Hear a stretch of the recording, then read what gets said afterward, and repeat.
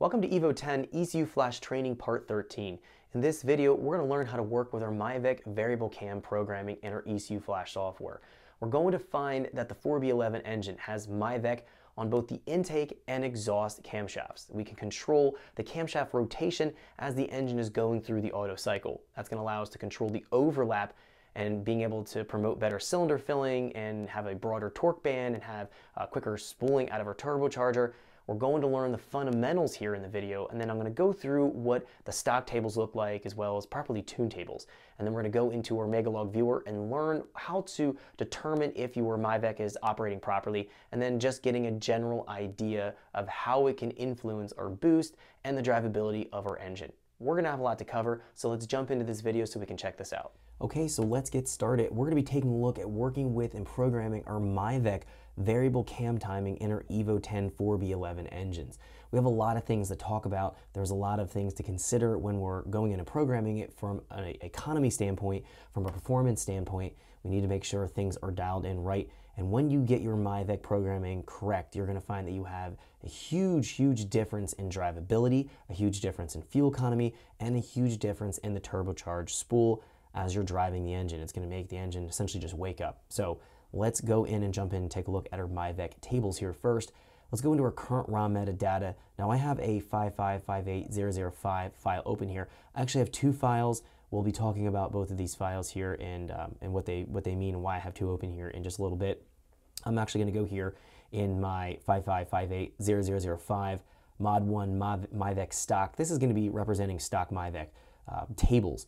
This will be what you open up and look at, and then we'll take a look at some modified tables and kind of the before and after, and we'll look at some data logs so we can get an idea of what to expect when we're programming our MIVEC. So first things first, let's again go jump down to our current ROM metadata. We're going to move down here into the timing area. We're going to find we have some MIVEC tables here we want to look at. So we're going to have our MIVEC intake normal coolant temp, and we're also going to have here, let's jump down, our MIVEC um, exhaust normal coolant temp. Now we do have some other tables here. There's going to be a uh, low coolant temp and uh, for the both intake and exhaust, and then we're going to find some interpolation tables.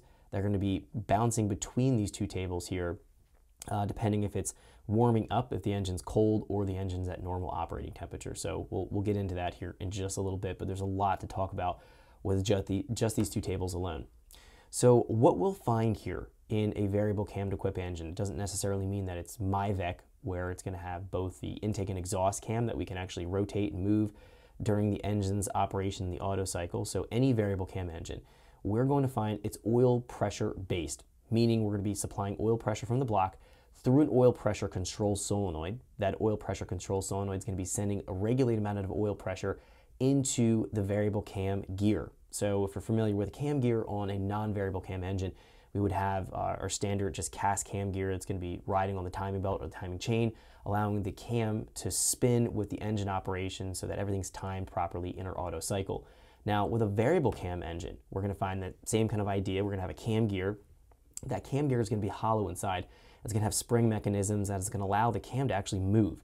So this would be the same idea if we have a something like an Evo 8 engine, where it has a, a multi-bolt adjustable cam gear where we can actually loosen the bolts up and move the cam gear around so that we could change the overlap or change where the position is of the cam when the engine's running to be able to achieve better performance. So whether it's going to be quicker spool or better top end, there's going to be all kinds of things to consider when you're just moving that cam gear statically. So in the adjustable cam gear scenario, non-variable cam, so an Evo 8 engine, a 4G63 engine, we'll find that that overlap or that, that, that movement of the cam is fixed. It is not dynamic. So once we adjust the cam gear or even a stock cam gear that's not adjustable, it's not gonna be able to move.